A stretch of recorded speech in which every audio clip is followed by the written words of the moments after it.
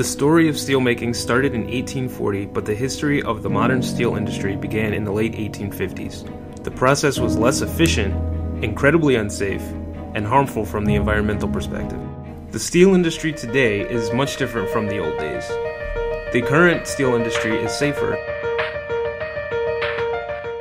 has less environmental impacts, uses advanced technologies, and serves as a backbone of our society.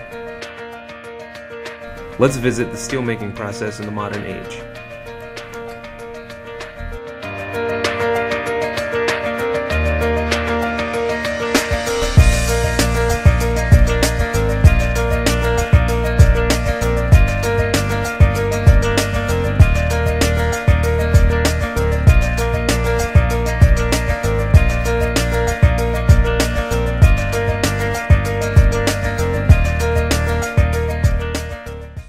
While still not 100% safe for humans, the process is constantly improving. Today, safety is the topmost priority for all steel industries.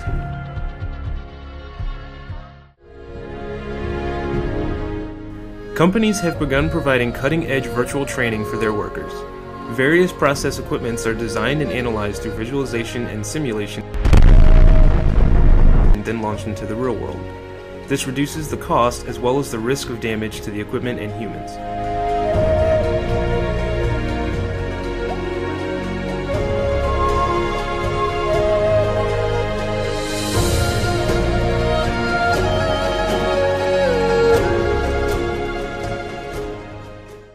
Steel is the most recyclable material on the planet.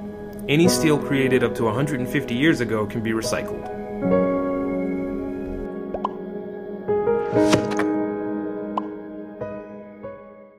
Did you know in 1924 through 1937, while building the Golden Gate Bridge in San Francisco, 83,000 tons of steel was required? But if they had used new steel, then only half of that would have been required.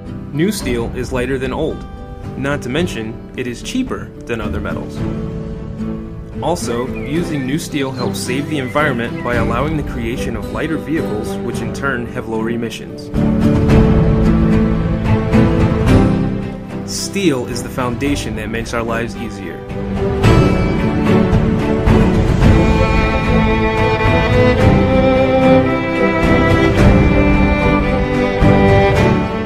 It enables us to break through limitations and boldly build our future.